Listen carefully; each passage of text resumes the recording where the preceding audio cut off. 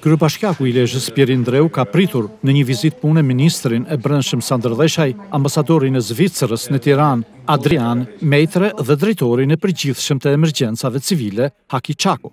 Ambasadori zviceran u shpreh se Zvicra ka në fokus të saj zhvillimin e Lezhës për ta mbështetur financiarisht me projekte që përmirësojnë cilësinë e jetës në komunitet.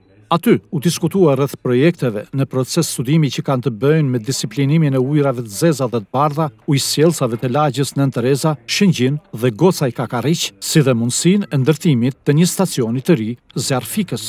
Temë tjetër diskutimi ka qenë dhe mbështetja në financimin e projekteve që lidhen me arsimin profesional dhe menaxhimin e mbetjeve.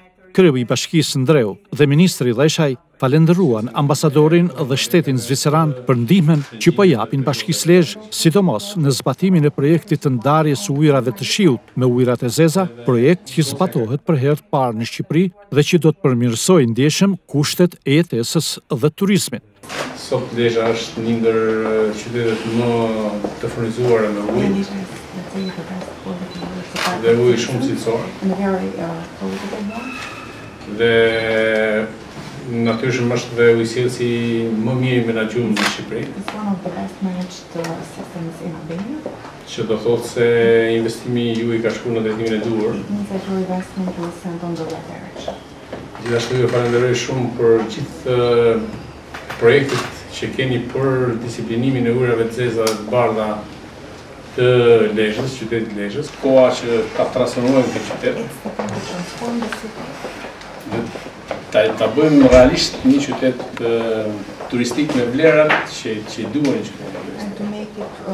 Ne duam që këtu së bashku të punojmë për të krijuar dy modele unike në Shqipëri, të para në Shqipëri, E para është ajo që sot së bashku vizituam, ndarja e ujërave të shiut nga ujërat e zeza është gjëja e një gjë është jashtë jashtëzakonisht e rëndësishme, e cila nga Lezha pastaj shpresojmë të shpërndahet dhe të kopiohet si model në gjithë Shqipërinë.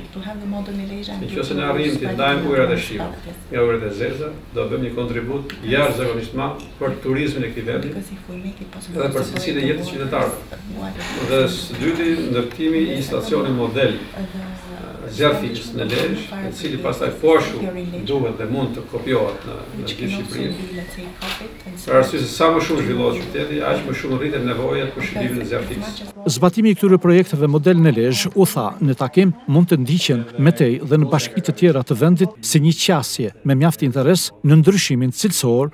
të jetesës së qytetarëve.